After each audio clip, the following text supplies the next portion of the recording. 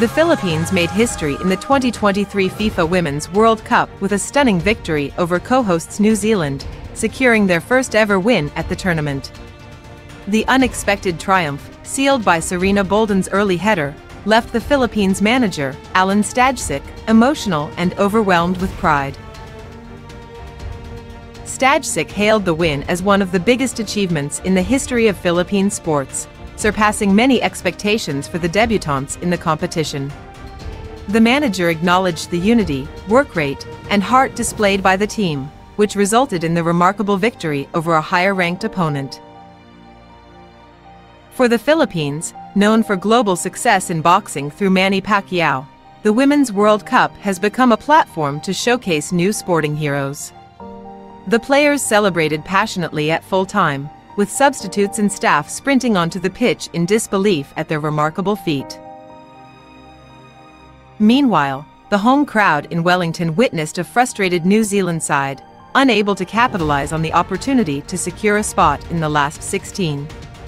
Despite the vocal support, New Zealand couldn't find a breakthrough, with goalkeeper Olivia McDaniel producing heroics in stoppage time to deny Grace Jale's half volley. Bolden's 24th-minute header off Sara Eggesvik's cross put the Philippines in the lead, setting the stage for their dynamic and confident display throughout the match. Buoyed by their solid defense, the Philippines proved clinical on the counter-attack, displaying creative touches, slick passing, and dynamic movement. New Zealand's efforts to find an equalizer were met with strong resistance, as McDaniel and the Philippine defense stood firm. While Celtic's Olivia Chance made a notable impact after coming on as a substitute, the Philippines remained resolute. Both teams had goals disallowed due to offside calls, adding to the drama and intensity of the encounter. The result left Group A wide open, with New Zealand now facing a must-win match against Switzerland to advance to the knockout stages for the first time.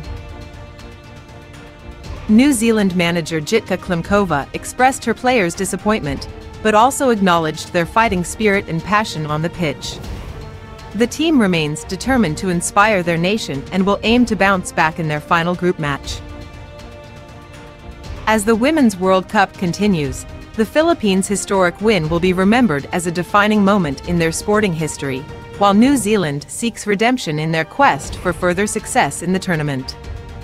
The competition's unpredictability and the emergence of new talents promise to make this edition a captivating spectacle for football fans worldwide. Don't miss the thrilling highlights from this action-packed encounter. Subscribe and stay tuned for more thrilling matches and surprises.